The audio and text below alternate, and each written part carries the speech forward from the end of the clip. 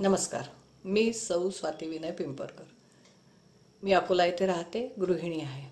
आज मी स्वातंत्र्यवीर सावरकरांच्या छंद नसे चांगला या लावणी या काव्य प्रकाराचं काव्य काव्यनिरूपण करण्याचा प्रयत्न करणार आहे. सावरकरांच्या बाबतीत एकाच वा- सावरकरांच्या बाबतीत एका शब्दात वर्णन करायचं म्हटलं तर gem radiates it shine wherever it is. एवढं म्हटलं तरी पुरेसं आहे. सावरकर हे अलौकिक प्रतिभाशक्तीचे धनी होते आणि आपल्या या प्रतिभाशक्तीचा वापर त्यांनी एखाद्या सहस्त्रबाहू वीराप्रमाणे राजकीयच नव्हे तर सामाजिक आणि वैचारिक क्रांती घडवून आणण्यासाठी हत्यार म्हणून वेळोवेळी केलेला आपल्याला दिसून येतो. एका लावणी नर्तिकेच्या नादी लागलेल्या पत पत्नीची ना पत लावणी नर्तिकेच्या नादी लागलेल्या पतीला त्याच्यापासून परावृत्त करण्याचा प्रयत्न करणाऱ्या स्त्रीची व्यथा सावरकरांनी या लावणीमध्ये या लावणीमध्ये मांडलेली आपल्याला दिसून येते. त्या काळी मनोरंजनाची साधनं कुठलीही उपलब्ध नव्हती. आजच्यासारखं दूरदर्शन दूरध्वनी सिनेमा किंवा फेसबुक ट्विटर असं काहीही करमणुकीचं साधन नसल्यामुळे साहजिकच गावात साजरे होणारे सण उत्सव किंवा रात्री होणारे भजन कीर्तन भागवत कथा यातच माणूस आपलं मन रमवत असे. गावात क्वचित येणाऱ्या वृत्तपत्राचं सामुदायिक वाचन पारावर बसून केलं जात असे. तर रात्री त्याच पारावर गजाली रंगत असत म्हणजे गप्पाष्टक रंगत असत आणि माणसाचा दिवस यात निघून जात असे. अगदी ठराविक साचेबंद दिनक्रम त्या लोकांचा असे. परंतु जेव्हा गावात एखादी जत्रा येत असे तेव्हा गावात नवचैतन्याचा संचार होत असे. अर्थात प्रत्येकाची नवचैतन्याची कारणं वेगवेगळी असत. त्यातील लहान मुलं हे त्या जत्रेत मिळणारी खेळभांडी खाऊ यासाठी उत्साहित असत. तर स्त्रिया संसार उपयोगी भांडी कुंडी कपडा लत्ता यासाठी पैसे जमवायला लागत. तर पुरुष वर्ग मात्र त्यांच्या शब्दात सांगायचं झालं तर संसार तापाने होरपळलेले पुरुष हे एखाद्या वाळवंटात हिरवळ दिसावी त्याप्रमाणे त्या जत्रेत येणाऱ्या तमा- तमाशाच्या फळांची आतुरतेने वाट पाहत असत. त्या त्या ठिकाणचा झगझगाट तिथल्या लावणी नर्तिकांचे नखरे त्यांच्या अदा यांनी ते माणसं भुलून जात आणि त्यांची आतुरतेने वाट पाहत. यात अशाच एका लावणी नर्तिकेच्या नादी लागलेल्या पुरुषाला त्यापासून परावृत्त करणाऱ्या स्त्रीला स्त्रीची व्यथा आपण यात कवितेत ऐ- या लावणीत ऐकणार आहोत. त्यामुळे ही या स्त्रीची मात्र इकडे आड तिकडे विहीर अशी स्थिती झालेली आपल्याला दिसून येते आहे. कारण त्या पतीला जशी हवी आहे तसं सलगीने किंवा खोटं खोटं वागणं तिला आपल्या वडीलधाऱ्यांसमोर किंवा लहान मुलांसमोर कधीच शक्य होणार नाही आहे आणि दुसरीकडे आपला संसार तर हळूहळू नष्ट होतो आहे हे तिला दिसतं आहे. त्यामुळे ती आपल्या नवऱ्याला या गु- नर्तिकेपासून परावृत्त करण्याचा अत्यंत व्याकुळतेने प्रयत्न करताना आपल्याला या लावणीत दिसते आहे.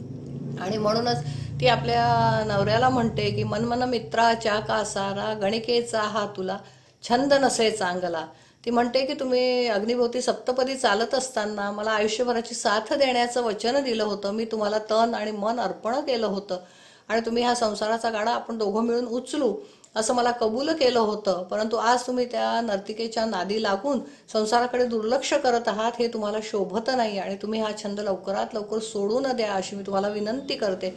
अशी व्याकुळतेने ती याचना त्या नवऱ्याकडे करते आहे. परंतु तो पुरुष त्या स्त्रीच्या इतका आहारी गेलेला आहे आणि आपली असहाय्यता प्रगट करताना तो माणूस म्हणतो की काय करू गे? मनमोही ती सुंदरा. तो म्हणतो काय करू? मला तिचं सौंदर्य मा- माझं- तिच्या सौंदर्याकडे माझं मन सारखी धाव घेतं आणि माझे पाय तिकडेच वळतात तेव्हा ती म्हणते की नाही ते सौंदर्य नाही ती अशी दरी आहे की त्यात जर तुम्ही तिच्यासोबत पडलात तर काळ तुमचा काळ तुम्हाला भक्ष्य बनवील. हे अगदी नक्की आहे. तेव्हा तुम्ही वेळीच सावध व्हा आणि मागे फिरा असा सल्ला ती त्या माणसाला देते आहे.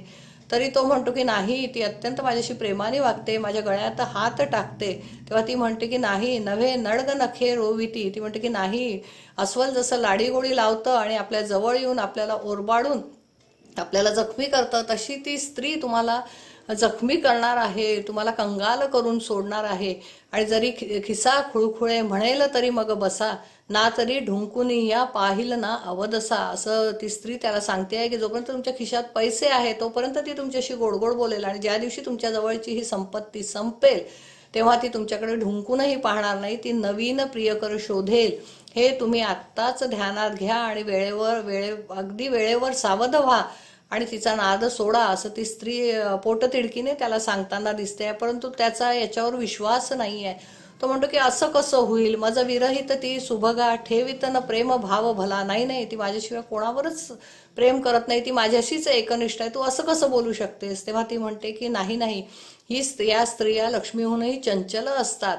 लक्ष्मी जशी अचानक येते आणि कधीही निघून जाऊ शकते तशीच ही स्त्री अचानक तुमच्या आयुष्यात आली आणि एक दिवस ती अचानक निघून जाणार आहे.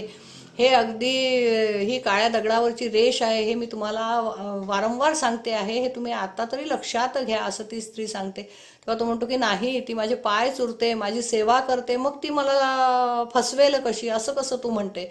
तेव्हा ती म्हणते की अहो तुम्हाला कळत कसं नाही की जेव्हा तुमच्याजवळ दमडीही नसेल आणि सारं जग तुम्हाला हसेल तुम्ही एका कडेला पडून राहाल. तेव्हा पदमर्दन तर दूरच राहो. पैसे असतं प्रिय करा. ओढील बाजारी फरफरा. म्हणजे ती तुम्हाला पैसे असतो बाजारात ओढत नाही तुमचं मोल लावायलाही कमी करणार नाही. आणि ही गोष्ट काही अंशी सत्यही होती. एखाद्या पुरुषाला फशी पाडून त्याची वाताहात करण्यात या स्त्रिया बऱ्याच तरबेज असायच्या. जरी त्या संसार सुख बघत असल्या तरी त्या वेळ त्याच वेळी एखाद्या स्त्रीचा संसार आपण उद्ध्वस्त करतोय याची त्या थोडीशी जाणीव ठेवत नसत. सामना चित्रपटात आपण हे दृश्य पाहिलेलं आहे. त्यामुळे त्यांची वेदनाही तितकीच हृदयद्रावक असली तरी समाज मन शेवटी या संसारी स्त्रीच्या बाजूनेच असणार आहे. त्यांची सहानुभूती हिच्याच बाजूला असणार आहे याची खात्री आहे. नाहीतर त्या स्त्रीबद्दल देखील आपण म्हणू शकतो की आणि त्या स्त्रियांना हे सुख दुर्लभ आहे हे निश्चितच आहे. म्हणून उरी पानं आणि डोळ्यात अश्रू घेऊन आपल्या दुधासाठी रडणाऱ्या बाळाला पडद्यामागे ठेवून नृत्य करणाऱ्या स्त्रीची व्यथा आपल्याला माहीत आहे पण तू शेवटी समाज मन हे त्या संसारी स्त्रीच्या दृष्टीनेच तिच्या बाजूनेच राहणार आहे. कारण शेवटी समाजाची घडी जर व्यवस्थित बसवायची असेल तर हा संसाराचा गाडा व्यवस्थित चालायलाच हवा. हे निश्चित होतं.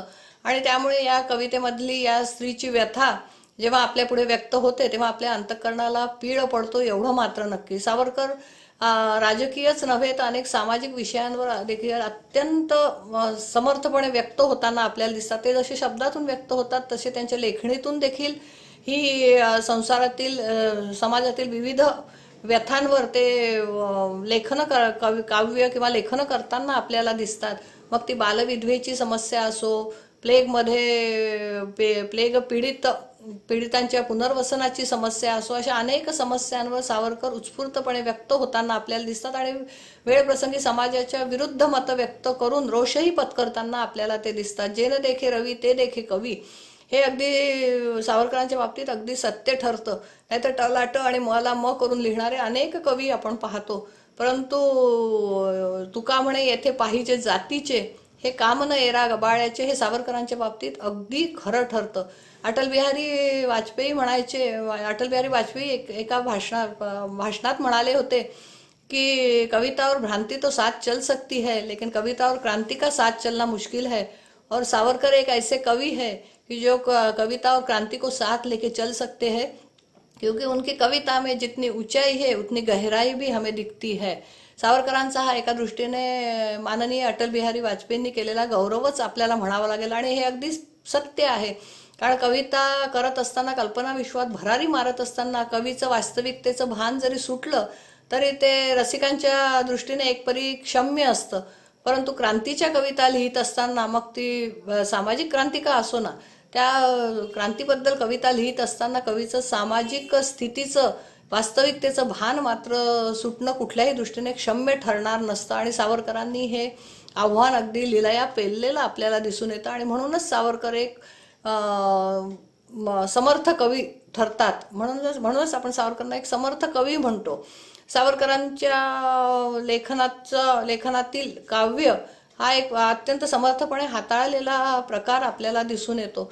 सावरकरांच्या या सर्व कविता आपण जेव्हा वाचतो तेव्हा या माणसाच्या प्रचंड काव्य प्रतिभेचा आपल्याला अनुभव येतो आणि शेवटी आपल्याला एवढंच म्हणावं वाटते की झाले तर बहु होतील बहु परी या समहा वंदे मातरम.